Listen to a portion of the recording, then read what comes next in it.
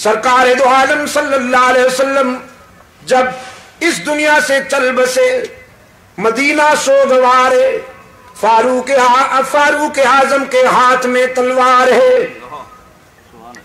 Medina की गलियों में जख्मी शेर की तरह भागते हैं और फरमाते हैं, खबरदार अगर किसी की ज़ुबान पर यह जुमला आया कि हुजूर फौत हो गए हैं तो मेरी तलवार से बच नहीं पाएगा।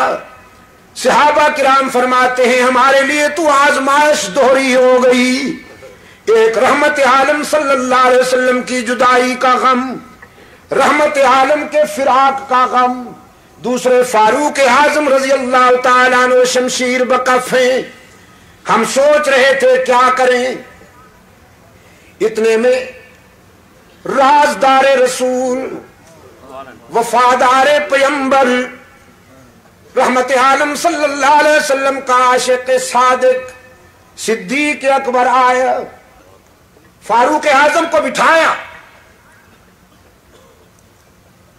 फरमाया, अलैक अले कभी सकीना। उमर बैठो, मेरी बात सुनो। फारूक आज़म रज़ी अल्लाह तु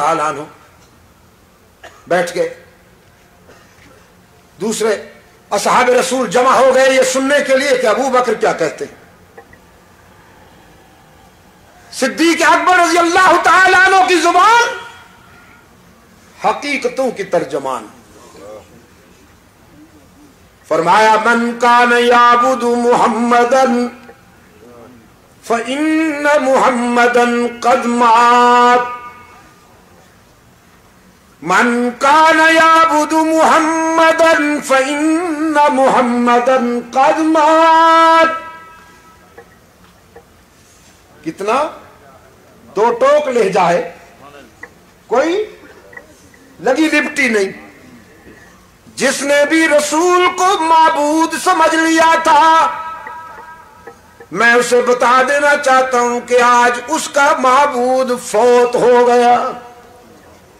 वो मन का नयाबुदुल्लाह और जो अल्लाह की इबादत करने वाला है, मैं उसे खुशखबरी सुनाता हूँ फ़िन अल्लाह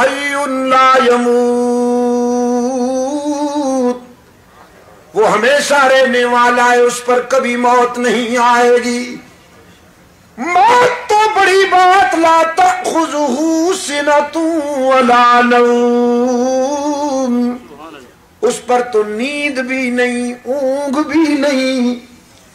वही है जो सोने से पाके ऊंघने से पाके मौत जिस पर कभी नहीं आ सकती।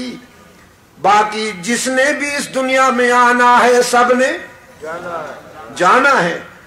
कुरान करीम से रेफरेंस दिया सिद्दीक अकबर ने वमा मोहम्मद रसूल। कद खलत मिन कबल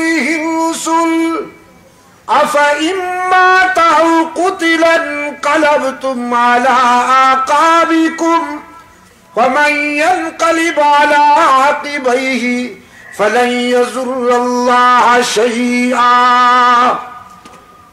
मोहम्मद अरबी सल्लल्लाहु अलैहि वसल्लम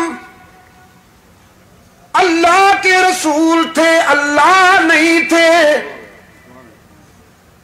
अल्लाह के बंदे थे, अल्लाह के रसूल थे। और जिस तरह पहले अंबिया और रसूल अपना मिशन पूरा करके इस दुनिया से चले गए हैं, रहमत आलम सल्लल्लाहु अलैहि वसल्लम भी अपना मिशन पूरा करके अल्लाह के जवारे रहमत में चले गए हैं। और ऐसी मुकद्दस ज़िंदगी, इतनी मुबारक ज़िंदगी आला ज़िंदगी हासिल कर ली। रहमत आलम सल्लल्लाहु अलैहि वसल्लम ने कि दुनिया की करोड़ों जिंदगियाँ भी उस ज़िंदगी पे कुर्बान जाए। सल्लल्लाहु वसल्लम, अल्फ़ा अल्फ़ा मर्रा, बेआदद कुल जर्रा। अब हमने रोना धोना है या अपने कायद के मिशन को पूरा करना है? उमर ये रोने का वक्त नहीं है, ये तो संभलने का वक्त है। होश में आने का वक्त है। हर जानब से इस्लाम की मरकजियत को मिटाने के लिए फितने सर उठा रहे हैं। हमने इस वक्त संभलना है और अपने कायद की अमानतों की लाज रखना है। अगरचे अल्लाह किसी का मोहताज नहीं लेकिन हमने तो अपनी आकबत संवारनी है ना, और अपनी दुनिया भी संवारनी है। हर जाने वाले के लिए कुरान करीम यही ताजियत करता है।